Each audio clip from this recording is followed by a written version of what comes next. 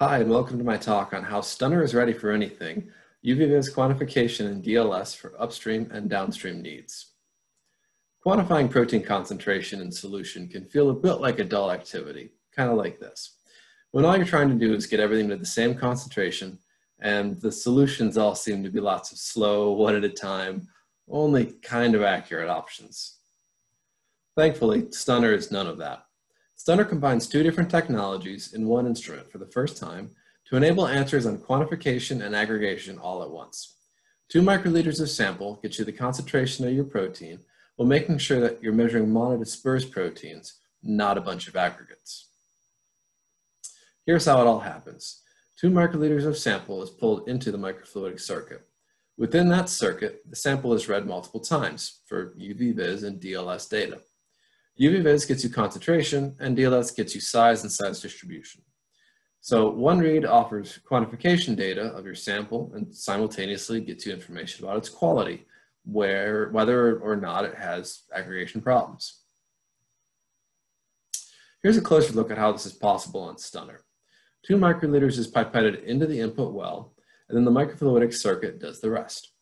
The unique microfluidic circuit molded into stunner plates ensure that there's no cross-contamination or evaporation, and the fixed path lengths mean you know exactly what you're measuring. Two microcuvettes in the microfluidic circuit cover a wide dynamic range of 0.03 to 275 OD. And here's how it works. Samples, once they're deposited into that input well, are then drawn into the storage channel. A sample can be left behind in the storage channel for up to two hours without detectable evaporation. During a read, Stunner pumps the sample from the storage channel into the microcuvettes where the samples are read. Two different path lengths give us the wide dynamic range that I mentioned before. Concentration and sizing info from one microvolume sample means that you can avoid sending samples to the next step in your process if they have aggregation problems. So, for example, the protein on the left in blue is a homogeneous antibody that shows no presence of aggregates. Great. While the protein on the right in green has begun aggregating. So now you can catch those problems earlier with less volume and in the same step as quantification. Another application of this DLS data actually is in quantifying B22 and KD data. So this is actually has to do with protein-protein interaction and is a nice quick measurement of colloidal stability using light scattering data. So in this case, B22 is the second virial coefficient and KD is the diffusion interaction parameter. Stunner will measure the protein concentrations across a series of, of concentrations from about uh, 1 to 10 uh, milligrams per milliliter. And at the same time, we'll take light scattering data, either intensity uh, for B22 measurements or diffusion coefficient for KD measurements. And that'll give you a picture of the colloidal stability of your protein. If you see increasing slopes, like are shown here with sucrose and uh, no excipient formulations for this protein, then you have repulsive protein-protein interactions, and that's great news. If you have flat or negative slopes, like are shown here for arginine and sodium chloride with this protein, then that means that you either have neutral or attractive protein-protein interactions. And those are formulation of protein combinations that you should watch out for since they're probably susceptible to aggregation. But that's enough about DLS. Let's turn back to UV-Vis for quantification. With the fixed path length microcuvette technology behind it, Stunner delivers amazing results, accuracy within 2% and precision within 1% from 1 to 200 OD. Let's check out a few examples of exactly how great those results really are.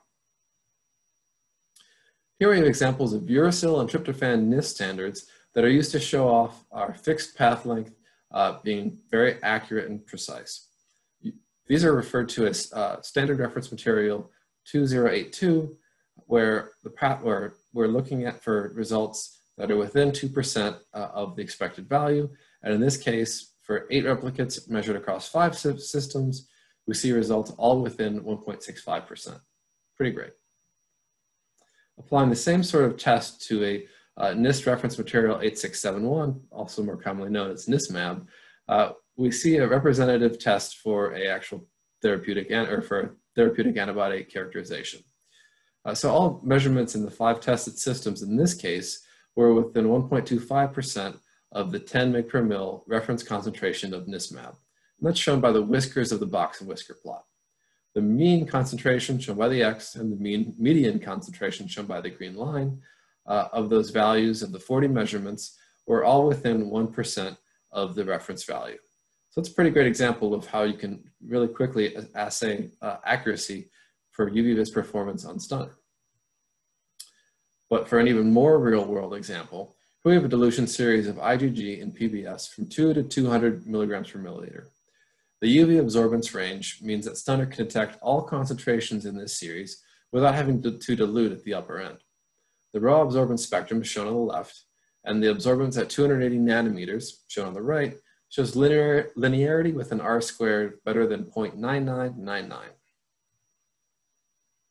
If we apply those results to determine concentration, you can see the spot on accuracy within 2% by comparing the known and average measured concentrations and the precision within 1% uh, by looking at the CVs of those measured values. So they're shown in the table on the right, and looking at the left, we again see an R squared value of better than 0.9999.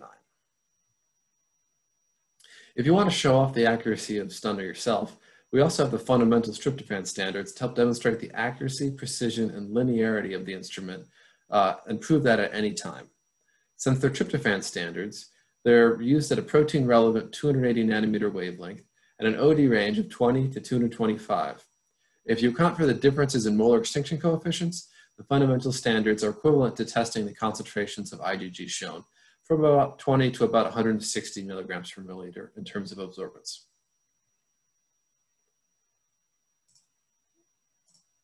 The average concentration, mean recovery, and relative standard deviation of the target concentrations were calculated by stunner analysis software for each of the standards. Plotting the average result of each standard shows the great linearity of stunner over the dynamic range of uh, 20 to 225 OD shown on the right, and again the linearity and uh, accuracy shown on the left by indicating a high R squared value and a, a linear slope very close to one. And if we want to quantify uh, the precision one step further, we can take a look at those data and see what our measured uh, concentration is relative to our target concentration and what our relative standard deviations are, all well within 1%. And Stunner also talks to robots, so you can hook it up with a liquid handling system and run the rest of your measurements completely hands-off with our API setup, and that way you can keep more of your precious sample for the rest of your workflow. To help move Stunner downstream, it comes with the ability to do performance verification. Uh, this covers USP, United States Pharmacopoeia, uh, Chapter 857, and European Pharmacopoeia, Chapter 2225, for absorbance, accuracy and precision, photometric linearity, wavelength accuracy and resolution, and stray light. So let's take a quick look at examples for those. Uh, to, to, look at how well uh, we're measuring absorbance, we have uh, standards that meet the USP and European Pharmacopoeia requirements for absorbance accuracy, precision, and linearity. Uh, in this case, it's three concentrations of potassium dichromate uh, in perchloric acid. Those are going to be references uh, called UV20, UV60, and UV120 uh, that will cover measurements we need to take in the 200 to 400 nanometer range. Here's a look at the first result for absorbance accuracy with those standards. In this case, we're measuring those three cuvette or those four cuvettes six times, and the means and standard deviations are computed at each of the four test wavelengths, 235, 257, 313, and 350 nanometers. So each absorbance spectrum crosses the dashed lines at the four different wavelengths exactly right. Uh, to visually show how narrow the tolerances are for what those absorbance values, values must be, uh, each spectrum must be accurate to less than the thickness of the line shown in the bottom right. And if we want to compare sample to sample precision, uh, here are actually six replicates overlaid on the same graph. A little hard to tell, but if you zoom in, you actually can see how, how precise uh, Stunner is, and all those precision, all those reads need to be within those green error bars shown at the inset. But right now they're actually right on top of each other. And lastly, looking at photometric linearity, we can look at a linear regression of the means of the six replicate measurements at each, each tested wavelength of those UV20, UV60, and UV120 standards uh, plotted through zero and confirm the R squared value is greater than 0.999. So next, to look at wavelength accuracy, uh, we're going to be measuring the absorbance spectrum of a traceable uh, reference material with well-defined peaks at multiple wavelengths and comparing the measured wavelengths to the known peak, peak maxima. Uh, where are those peak maxima for holmium oxide and perchloric acid are shown at the bottom of the slide. And here again, we have the results. So the acceptance limits of the measured peak maxima are calculated by adding the manufacturer's uncertainty to the acceptance criteria, uh, and they depend a little bit on the wavelength where the measurement is being measured, but it's easy to take a look at the results and see that all measurements are well within the criteria, with even the largest error uh, between expected and measured values actually only being 0.7 nanometers, uh, which is well within the most stringent requirement of this test. To look at spectral resolution, we're actually referring to the ability of a UV-Vis spectrometer to resolve speech features in an absorbance spectrum. Uh, the spectral resolution of Stunner is actually better than two nanometers. So if absorbance minima and maxima are at least two nanometers apart, Stunner can resolve those features. Uh, the UV-Vis performance verification test for spectral resolution is performed by measuring the absorbance spectrum of toluene and hexane and determining a ratio between the absorbance maximum at about 269 nanometers and uh, about 266 nanometers.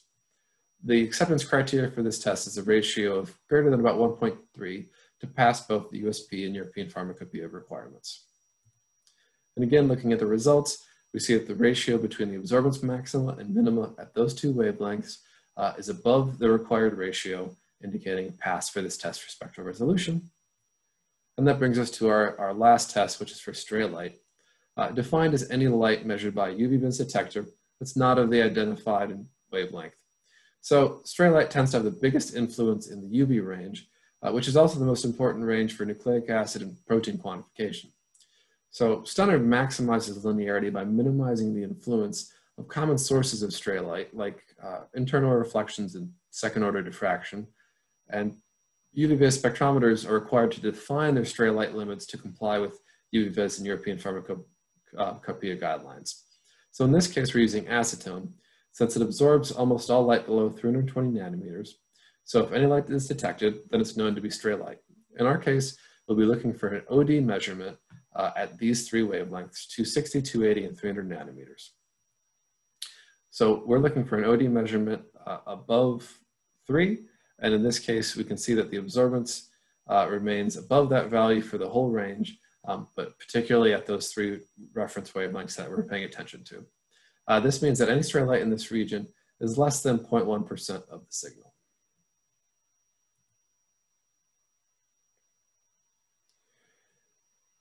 So Stunner also reports these detailed results for a quick review and record keeping after each test. And you can also put the software on lockdown uh, with the 21 CFR Part 11 software tools available, uh, which means Stunner is ready for anywhere from research and development to manufacturing and QC. So you can unify your entire biologics workflow with the best and easiest to use UV-Vis spectrometers available. And so that's how Lunatic applies speed, accuracy, and a little bit of fun to UV-Vis quantification. So now I'll ask, what questions do you have for me?